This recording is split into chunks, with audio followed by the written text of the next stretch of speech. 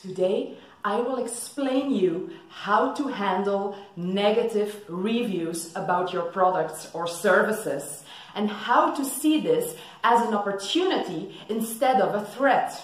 Hey you, ciao kakban. Welcome to Mieke's Marketing Mind. My name is Mieke and I am filming this video in our house in Da Nang, Vietnam. An issue that every one of us is dealing with on a regular basis. Oh my god, somebody has just written negative feedback about our product on our Facebook page. What shall we do about this? A bad review about your product or service is a great opportunity to show that you care about your customers' satisfaction. It's good to know that a satisfied customer will speak about his experience to three other people on average. An unsatisfied customer will tell his story to at least 10 other persons. You want to avoid this, of course. You want to turn this unsatisfied customer into a satisfied one.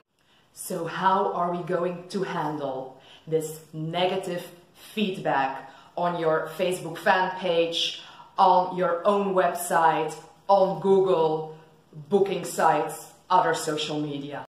Don't delete the negative feedback. It isn't possible at all that all of your customers are satisfied about your product or service. Negative feedback increases your company's credibility. Secondly, don't react defensively. Don't come up with excuses. Never be impolite. Whatever this unhappy customer has written or said about your company, always stay respectful. Third point, take this negative feedback as an opportunity to learn from your customer how to improve your company's critical points and how to adjust and optimize your customer service. Don't wait too long to answer this negative feedback. You definitely want to avoid that other online readers have read the negative comment before you. Number four, show understanding for the inconvenience that has happened to your customer. Show your gratitude and write, thank you for sending us this message and for giving us the chance to find a solution for you. Number five, apologize. If you agree or not with your customer's review, you can write we are sorry that we didn't meet your expectations. Thank you for giving us the chance to turn this unhappy experience into a happy one. When you start communicating with this unsatisfied customer on your Facebook fan page, uh, Google, your own website, and so on, try to take it offline. You don't want other online readers to get involved in this discussion. So write a message to this unhappy customer. Please send us your email address or your telephone number and we will get back to you as soon as possible to offer you a solution. Lastly, you are going to offer two solutions to this unhappy customer you are going to give him the freedom to choose between two different options.